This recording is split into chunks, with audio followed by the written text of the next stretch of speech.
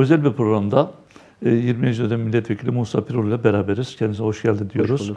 E, Türkiye'nin gündemine ilişkin konuşacağız, sohbet edeceğiz. Kendisi anlatacak, biz dinleyeceğiz. Sorular soracağız siz adınıza. E, hemen konuya başlayalım, girelim. Zamanımız sınırlı çünkü. E, önümüzde bir yerel seçim var. 19. yerel seçim Türkiye'nin. E, erken alınmış bir yerel seçim. 31 Mart gecesi artık yeni bir Türkiye mi olacak, başka bir şey mi olacak, ne olacak göreceğiz. E, yerel seçimlerle ilişkin görüşünü öncelikle alalım Sayın Vekilimizin. Şimdi aslında yerel seçim tartışması e, günümüzde pek yerel seçim tartışması üstüne gitmiyor. Seçim meselesi kavram içinde tartışmak gerekiyor. Zira 16 yıllık AKP iktidarının 16 tane seçim sığmış durumda. Seçime bakış meselesinde e, kamuoyunun beklentileriyle seçimin gerçekleri arasında bir açı farkı olduğunu da görmek gerekiyor. Çünkü genel olarak biz 16 Nisan referandumunda da 24 Haziran e, genel seçiminde de saray iktidarının e, seçimle alaşağı edilebileceği beklentisiyle yüründü ve her ikisinde de ne yazık ki ciddi bir hayal kırıklığıyla çıkıldı. Hayal kırıklığını yaratan sarayın yüksek oy alması değil. Hayal kırıklığını yaratan aslında sarayın kaybettiği seçimden galip çıkmasına karşı gerekli halk hareketinin önlememesi. E, Ortaya çıktı çıktı ki e, saray e, seçimden galip çıkmak için her çeşit hamleyi yapmak konusunda yetenekli. Var olan AKP iktidarı bunu beceriyor. Yani aslında sandıkla seçim başa gelenler e, sandıkla devrilmeyecekleri bir düzeni kurmuş durumdalar. Şimdi de aynı şeyler söz konusu. Örneğin işte Şırnak'ta, Cizre'de, Hakkari'de, hatta İstanbul'da, adalarda, işte Niğde'de, Ulukışla'da bir kişilik evlere birkaç bin kişinin kaydedildiği, hayali seçmenlerin kayıtlarının yapıldığı, işte bazı yerlere garnizonların, orduların kaydırıldığı biliniyor. Yani şimdiden e, olası bir seçimde kaybetmemek için her çeşit tertibat alıyor. Bu seçimi önemsiz hale getirir mi?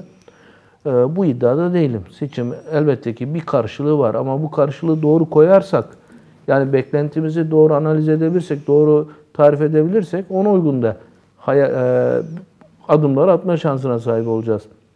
Seçim saray için bir moral bozukluğu, halk kitleri için de ciddi bir moral motivasyonu yaratabilir. Ama bundan fazlasını çok fazla beklememek gerekiyor. Esas ondan sonra o mücadeleyi biz bir adım öteye sıçratabilirsek var olan e, AKP iktidarını devirme şansına sahip olacağız. Şu konuda e, en azından benim konuştuğum, görüştüğüm pek çok insanın ortak fikri şudur ki AKP iktidarı bir sandık yenilgisiyle gidecek bir konumda değil. O, o hal koşullarında Tabii, seçim o se- yapmanın seçimi e, o sandığın arkasını getirebilirsek çok büyük avantaj sağlayacak bize. Yani sandığa atılan oyun arkasından biz o akşam o oylara sahip çıkabilecek duruma gelirsek yapacağız. İki, bu bir yerel seçim. Yani belediyelerin değişmesi söz konusu. Çok mu önemli? İşte İstanbul'un, Ankara'nın el değiştirmesi elbette önemli. AKP açısından e, ciddi handikaplar yaratacak. En azından kendi meşruiyetini sorgulatacak kadar önemli. E, bir ekonomik kriz içinden geçiliyor. AKP'nin kendi tabanında kurduğu güç hegemonyasının kırılması açısından önemli. Ama ondan ötesi değil. Biz geçmişte de gördük. E, Erdal İnönü'nün partisiydi. %48'e yakın oy almıştı belediyelerde. Turgut Özal yoluna devam etti. Yani e, hükümet bu seçimde ben erken seçime gideceğim diyemeyecektir. Ama e, biz onu zorlayacak, bu adımlarını en azından bu baskı sürecini frenleyecek ve halkı sokağa çıkarıp ya da halkı motive edecek e, bir yere gelebiliriz bu seçimle. Bu seçimle bizim en büyük beklentimiz birincisi bu. İkincisi ben biliyorsunuz HDP milletvekiliyim. E, Partimiz kayyum politikasına cevabı, net cevabı buradan verecek. Bu da bizim için hem psikolojik boyutu, politik psikolojik boyutu olan bir şey hem de siyasal karşılığı olan bir durum. Yani sarayın bunca baskıya rağmen şehirlerimiz yıkıldı, kentlerimiz talan edildi. E, belediye başkanlarımızın hepsi görevden alındı. Biz buna e, halkın cevabını tekrar vereceğiz ve diyeceğiz ki biz buradayız, diz çökmüyoruz. Bu seçimin e, büyük boyutu bu. Zaten HDP o yüzden bu seçime e, Kürt illerine kayyumları verilmiş belediyeleri geri almak, Batı'da da AKP kaydetmek üzerinden bir politik hale girmeye çalışıyor. Bir başka noktada belki ilerleyen konularda devam ederiz. Seçime hangi koşullarda girdiğimiz önemli. Yani sadece bir seçime, belediye seçimine kilitlenip belediyecilik üzerinden bir propaganda ile biz bu işi yürütme şansına sahip değiliz. 2-3 şeyden değiliz. Ee, AKP her seçimi bir referanduma çeviriyor. Tayyip Erdoğan'ın oylanıp oylanmadığı bir referanduma çevriliyor. Ve biz bu referandum üzerinden işte 24 Haziran'da da böyle girdik, referandumun kendisine de böyle girdik. Aslında ondan önceki süreçlerde de benler girdik. Bu, bu, bu seçim de biraz buna dönecek. Yani aslında belediyecilik onaylanmayacak. AKP'nin iktidarının devam edip etmeyeceği onaylanacak. Bu koşullarda bu yüzden de bu bir yerel seçim değil aslında bir çeşit referandum gibi okunacak. İkincisi bu seçime savaş davullarının çaldığı, sınıra her gün tankların yığıldığı bir koşulda giriyoruz. Bu seçime çok ağır bir ekonomik krizin içerisinde giriyoruz. Çok ciddi bir şekilde para dağıtılıyor ama ağır bir ekonomik kriz var. İşçiler kendini yakıyor. İşçiler ücretlerini alamıyor. Direnen işçilere bugün İzmir Belediyesi'nin önünde olduğu gibi gaz sıkılıyor hakkını isteyenlere. Ve e, üçüncüsü de ciddi bir şekilde e, kurulan baskı düzeninin ciddi şek kurumsallaşma sürecinde giriyoruz. İşte gazeteciler tutuklanıyor, insanlar işinden atılmaya devam ediyor, siyasetçiler tutuklanıyor. Dün Ankara'nın göbeğinde işte HDP milletvekili Filiz Keretçioğlu'na gaz sıkıldı. E, diğer vekil arkadaşımız yerlerde sürüklendi. Ve bu baskı hani vekile bu saldırıyı yapan polisin işte TOKİ işçilerine yaptığı ortada. İşte flormar işçilerinin soba yakması yasaklanıyor. Yani alabildiğine bir baskı sürecine giriyoruz. Bu üç koşulu görmeden bu seçimi tartışmak e, çok e, eksik kalacaktır. Kesinlikle.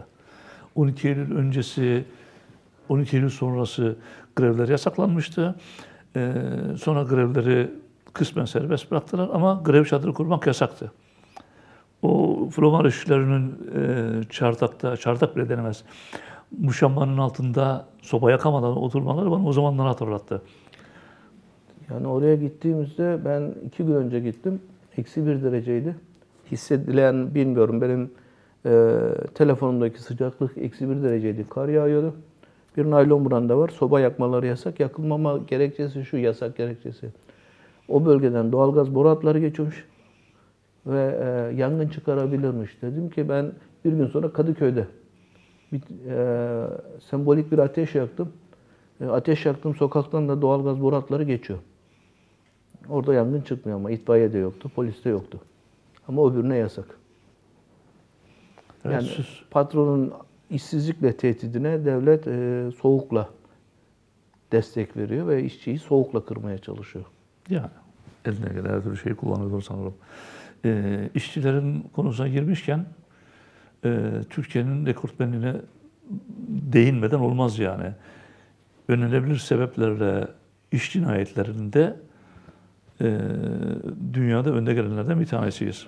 Dünya birincisi, Avrupa üçüncüsü Türkiye.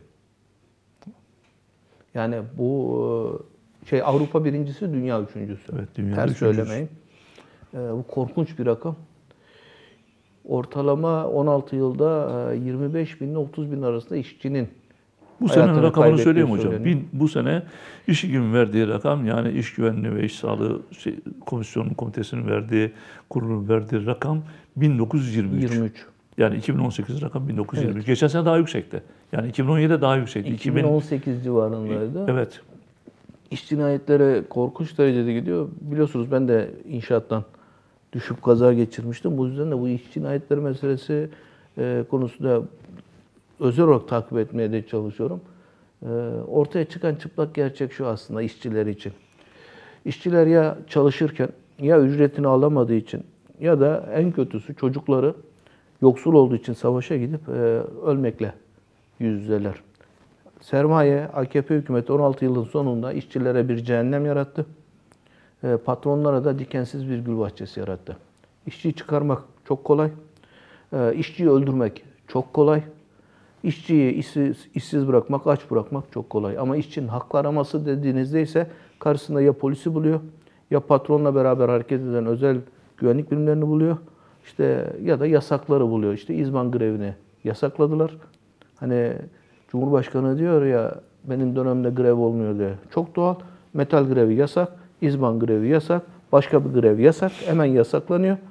E, direnişe geçenin karşısına çevik kuvvet, polo- polis, TOMA yığılıyor. İşçinin hak araması yasaksa işçinin direnmesi de yasak. Ve işçiye direniş yasakladığınızda patrona her şeyi yapma özgürlüğü veriyorsunuz. Ücretler korkunç derecede kötü. Alım gücü yerlerde sürünüyor. Dolar işte kaç liraya gelmişken asgari ücrete büyük zam yaptık diye övünüyorlar. Bir de vergi zamı yaptılar. Ee, enflasyon taban yaptı ve asgari ücret aslında alım gücü açısından baktığınızda 1970'lerin seviyesinin daha altında bir yerde geziniyor. Kiralar ve benzeri hesap ettiğinizde insanlar ölümüne çalışıyor. Ve ne yazık ki bu faturayı e, öderken de hala örgütlü olamadığımız için bütünlüklü bir direnişlik ortaya koyabilmiş değiliz. Belki de önümüzdeki süreçte işçilerin yapabileceği iş bugün e, İzmir'de işçiler bunu çok iyi başardılar.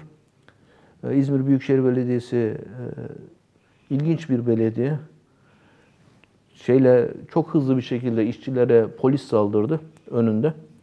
Bunun üzerine oradaki işçiler, genel iş işçileri ülke şehir çapında üretimi durdurdular ve öğlen saatlerinde sabah eylem olmuştu. Öğlen saatlerinde yeniden oraya gittiler. Göz altında alınan işçiler bugün akşam üzeri bırakıldı. Belki böyle kazanacağız her şeyi. Yani çok fazla söyleyecek bir şey yok aslında ama e, enflasyonu 20.6 gibi bir rakamla açıkladılar. Ama enflasyonu e, daha önce gerçek rakamını açıklayan İstatistik Enstitüsü Başkanı görevden alındı. Sonra yerine bir başkası atandı. Enflasyon birdenbire düştü.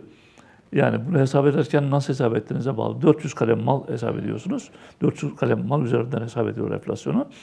E, bunları değerlendirirken e, genellikle e, daha düşük fiyatlara merdiven altı ürünleri satan firmaların verdiği fiyatları baz alıyorlar. Yani daha orta karar örneğin pirincin fiyatını şeye koyacakken merdiven altı imalat yapan bir firmanın ya da satıcı marketin fiyatını baz alarak Evet.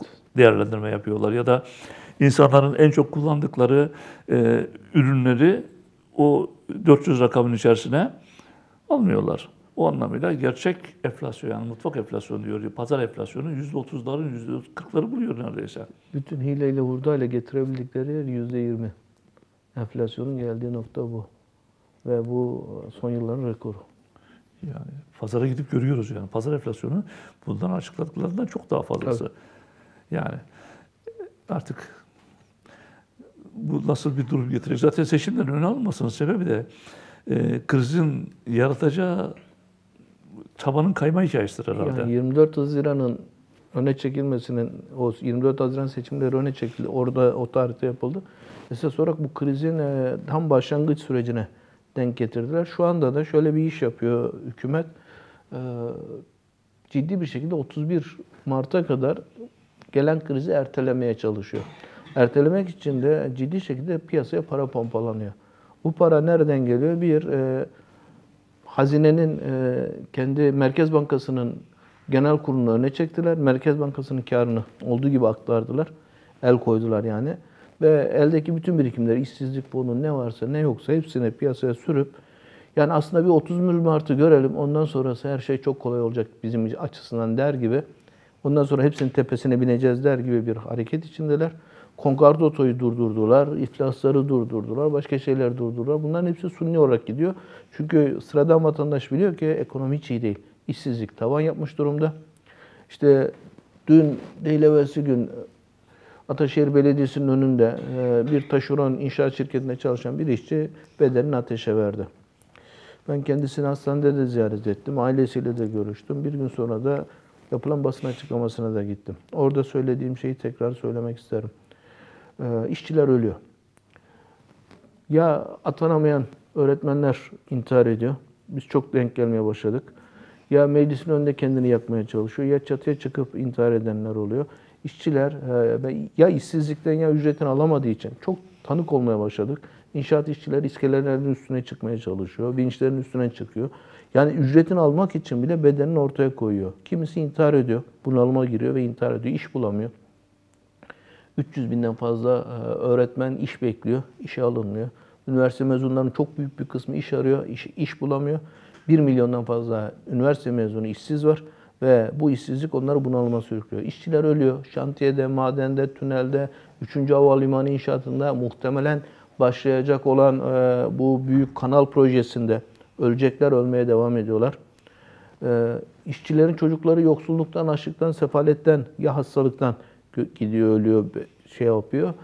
Ve e, burada mesele şu ama bunun sebebin de tartışılması gerekiyor. Biraz çaresizlik duygusu yaygın. Bu ekonomik kriz devam ettikçe biz bu çaresizlik duygusunu daha fazla yaşamaya başlayacağız. Ee, Ben dün çağrı yapmıştım orada. Ee, Sizin kanalınıza bir kere daha aynısını söyleyeyim. Ee, İntihar ya da bedenimizi ve canımızı ortaya koymak yerine e, bize bu vahşeti yaşatanların karşısına ortak çıkabilirsek belki o zaman kurtaracağız. Ve o zaman çözeceğiz. Üçüncü e, havalimanı inşaatının işçileri e, en basit ortaçağ şartlarındaki koşullardan kurtulabilmek için bir direniş yaptılar. Kendinden gelişen bir şeydi. Hep beraber izledik. Biz Türkiye olarak izledik bunu. Siz Boltur olarak daha yakından izlediniz hatta. E, bunlar tahliye olduktan sonra ki oraya kadar geliş süresi ayrı bir şey zaten onu bahsedersiniz.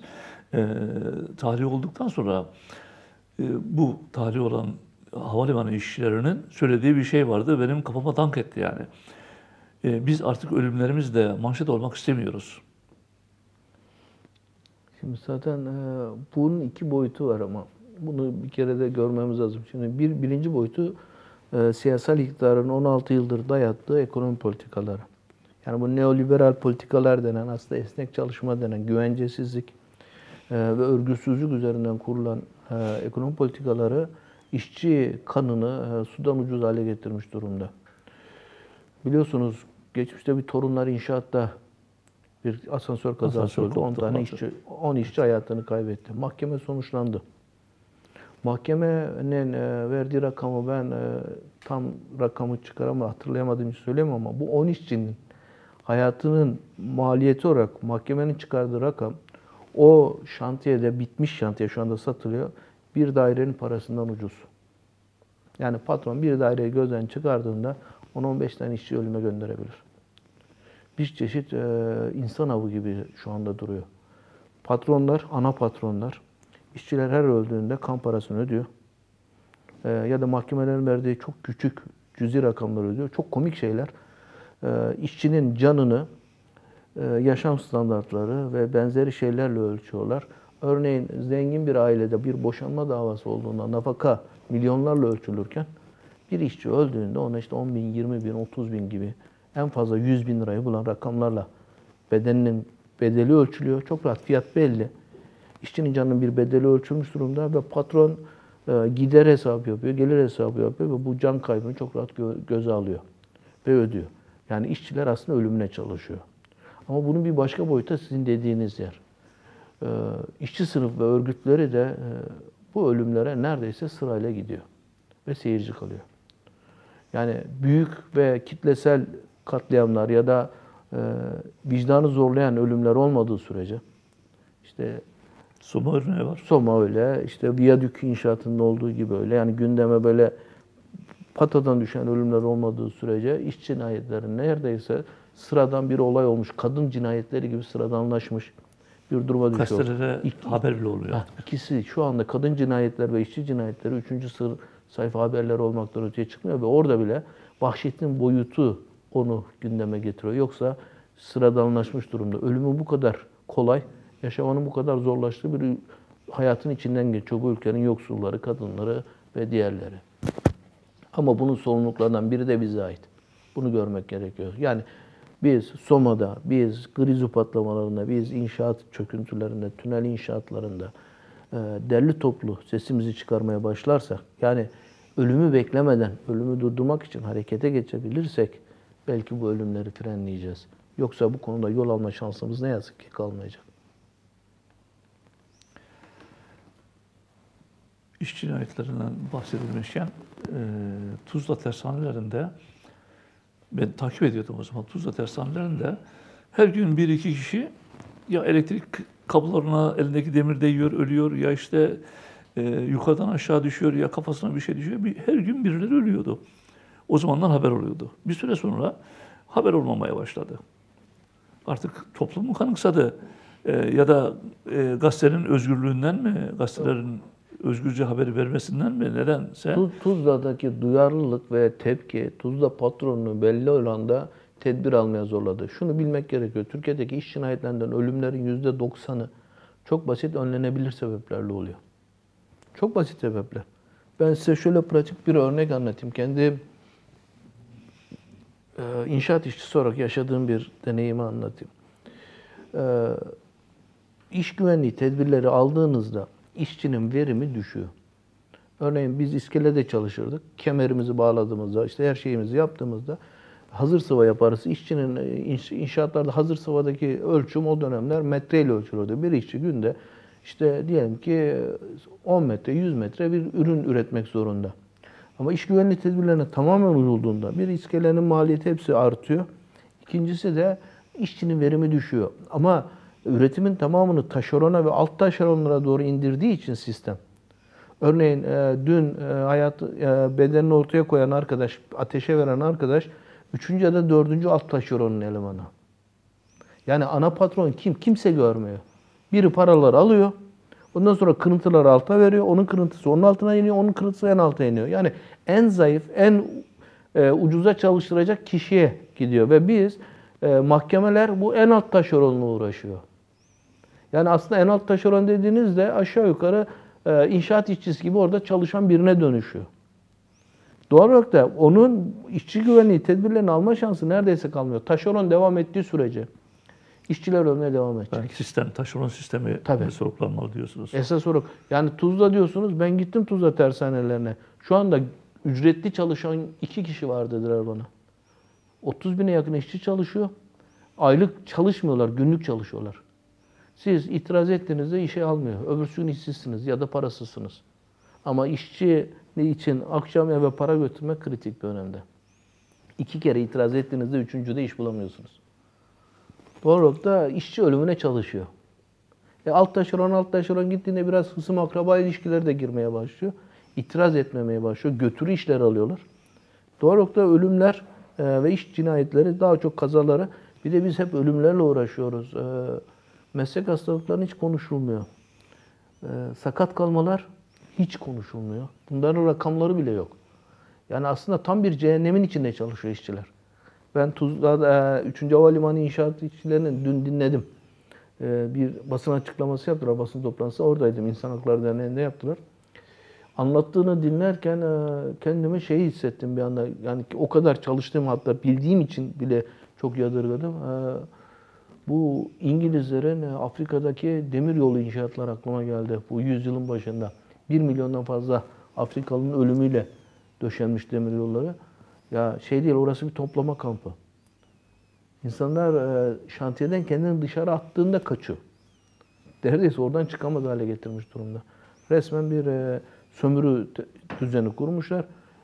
Ve öyle bir ortaklık ki ekmek bayat, çorba kötü, e, peynir zamanı geçmiş. Yani piyasada ne kadar çıkarcı varsa oraya yığmışlar, oradan bir tezgah kurmuşlar, e, faturayı işçi ödüyor.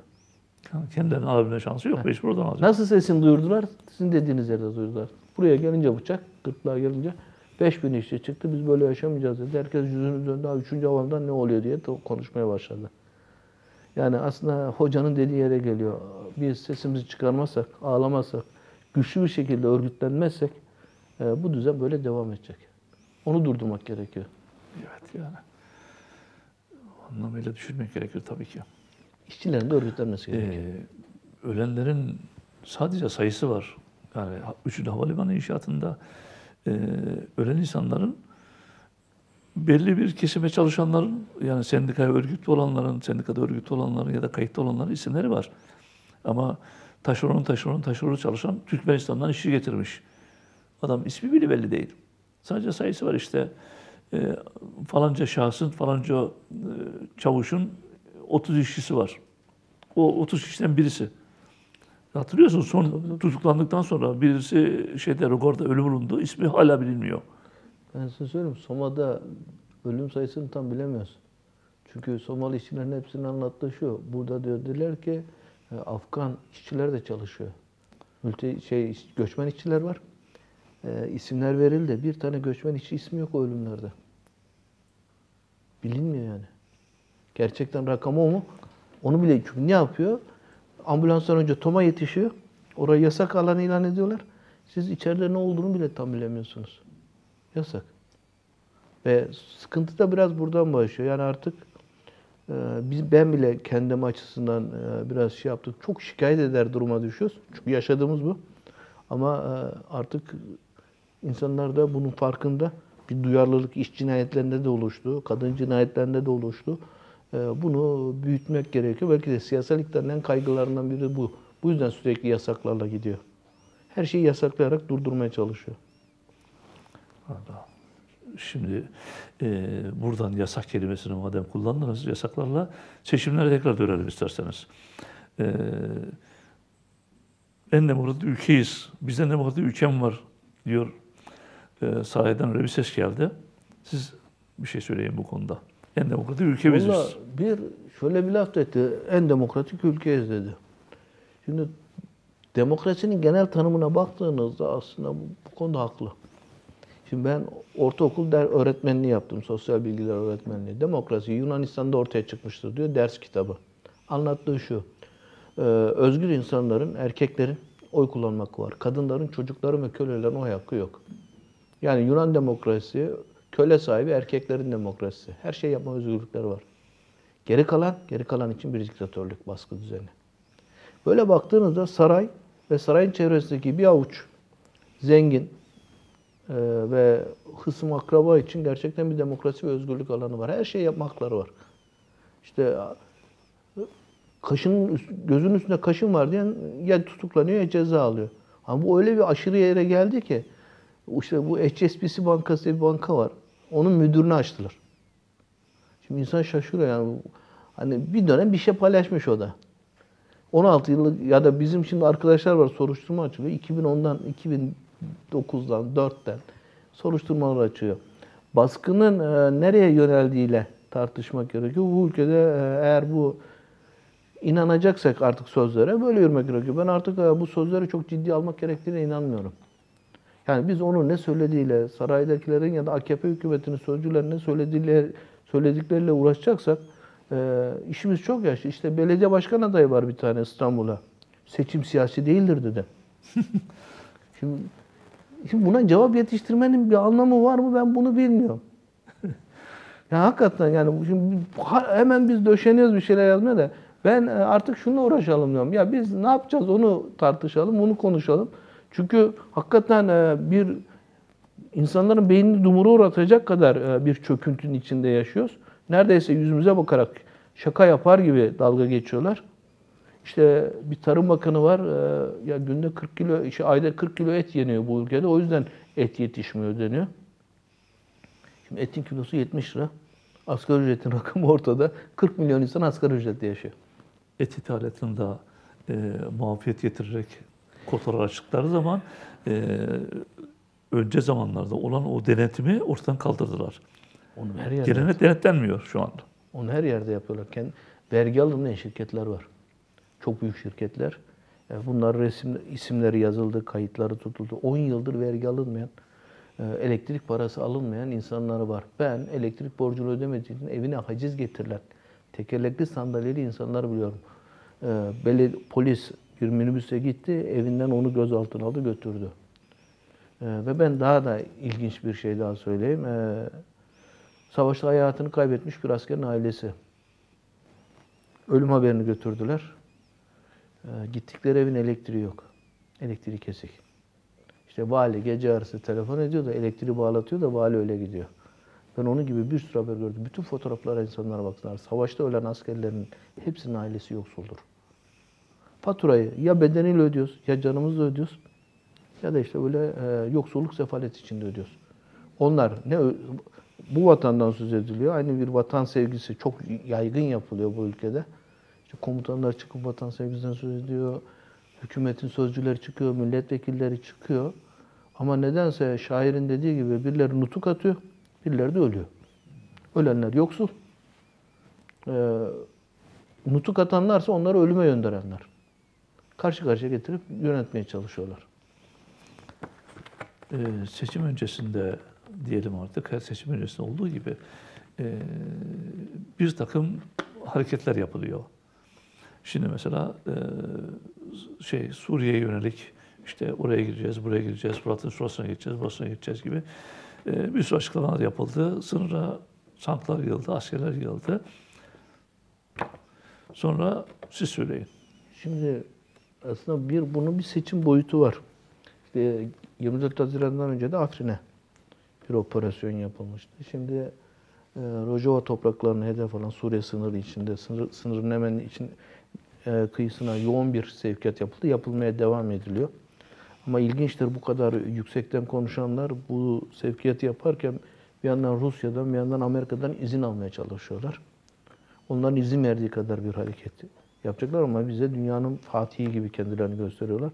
Savaş meselesi sadece Suriye ile Rojava ile e, Irak'la da sınırlı değil. Aslında bizim ülkemizin içinde yaklaşık 40 yıldır e, işte binlerce insanın hayatına mal olan bir çatışma süreci yaşanıyor.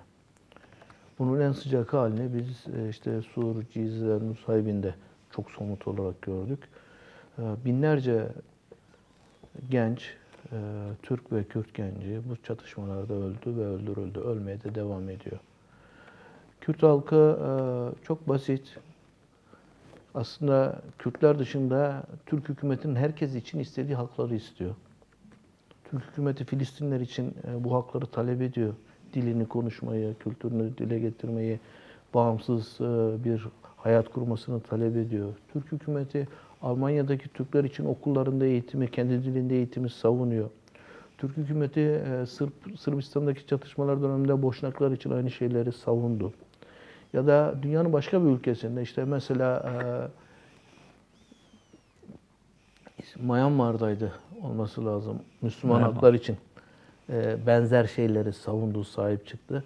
Ve daha ironik ve ilginç olanı Türk hükümeti Suriye halkı için Esad'a karşı Suriye halkının özgürlüğünü savundu. Ama Türk halkı da bunların hepsinin arkasında durdu Türkiye halkı. Türkiye tarafında batıdaki halklar. Ama söz konusu Kürtler olduğunda neredeyse bıçak ters dönüyor ve her şey e, tersten savunulmaya başlanıyor. Kürt halkın talepleri çok basit. Kendi e, dillerini, kültürlerini özgürce yaşatabilecekleri, kendi kaderlerini özgürce belirleyecekleri bir sistem istiyorlar. Yani aslında kardeşliğin e, eşit ve demokratik olarak inşasını istiyorlar. Bu yıllardır e, bastırılmaya çalışılıyor. Geldiği nokta ne oldu? Dünyanın tamamı Kürtleri, Kürt halkını e, bir ulus olarak, bir veri olarak kabul etti.